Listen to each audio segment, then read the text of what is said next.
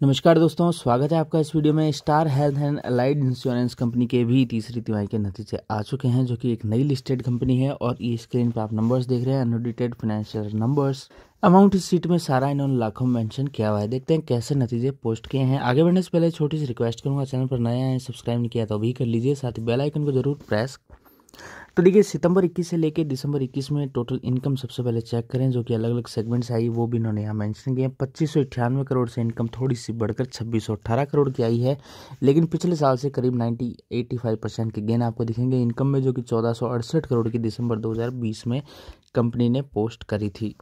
उसके बाद आते हैं सीधे कंपनी के मुनाफे पे profit after tax expenses taxes से बढ़ाने के बाद, देखिए कंपनी पहले भी घाटे में चल रही थी, अभी भी घाटा ही पोस्ट किया है और बड़ा घाटा पोस्ट किया है। एक सौ करोड़ के घाटे के सामने पाँच सौ अठहत्तर करोड़ का घाटा है, जो कि लास्ट ईयर दो सौ बयालीस करोड़ के आसपास का पोस्ट किया गया था। अब टोटल खर्चे देख लेते हैं, जो कि इस कॉलम आप देखेंगे टोटल एक्सपेंसेस आठ, नौ, दस और ग्यारह, ये जो कॉलम्स हैं, इनको ऐड करने के बाद ये यहाँ पर आया है और कहाँ कहाँ खर्चे किए वो भी सारे इन्होंने यहाँ मैंशन किए हुए हैं। उनतीस करोड़ के खर्चों के सामने चौंतीस करोड़ के आए हैं। अब देखिए, खर्चे आपके सामने क्लियरली है। जो छब्बीस अट्ठारह करोड़ की इनकम में से चौंतीस सौ चालीस के खर्चे कर रहे हैं, यानी कंपनी घाटे में जा रही है, खर्चे ज़्यादा हो रहे हैं, जो कि लास्ट ईयर अट्ठारह सौ छत्तीस करोड़ के सामने भी बढ़कर आए हैं।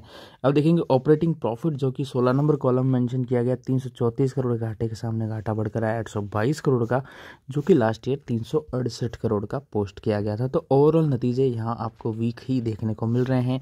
चाहे तो पी का स्तर उठा के देखेंगे, यहाँ भी कंपनी आपको ओवरऑल नेगेटिव लॉस है आई मीन बढ़ते हुए देखने को मिल रहा है।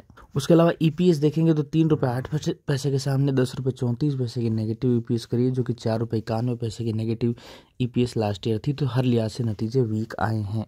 अब देखिए, बात करें, अगर चार्ट की तो इशू आया था नौ सौ रुपये के आसपास, उसके बाद लगातार स्टॉक स्लिप ही किया है और नौ सौ के ऊपर भी शुरू के एक दो दिन रहा, उसके बाद लगातार डाउन ही गया है। अब तक का स्टॉक का लो सात सौ पचास पचपन की रेंज का है, स्टॉक सात सौ सत्तर पे खड़ा हुआ है। मुझे लगता है ये ब्रेक करेगा और सात सौ पचास के लेवल को अगर ब्रेक करता है तो और भी ज़्यादा वीकनेस यहाँ बढ़ते हुए देखने को मिलेगी। फ़िलहाल के लिए अवॉइड करिए, कोई लेने का प्लान कर रहे हैं तो भी अवॉइड करिए, कोई इसको छोड़ सकते हैं। बहुत अच्छी कंपनीज़ है, वो भी ले सकते हैं एच और इन सब की एस लाइफ और ये ज़्यादा बेटर है। ये कंपनी घाटे में इसको छोड़ सकते हैं। मुझे कमेंट कर बताना क्या आपने बाय कर रखा है, या आईपीओ भी आपको मिला था अगर आपने होल्ड किया हुआ है। वीडियो अच्छा लगा, इसको लाइक कर देना चैनल को सब्सक्राइब कर देना। धन्यवाद।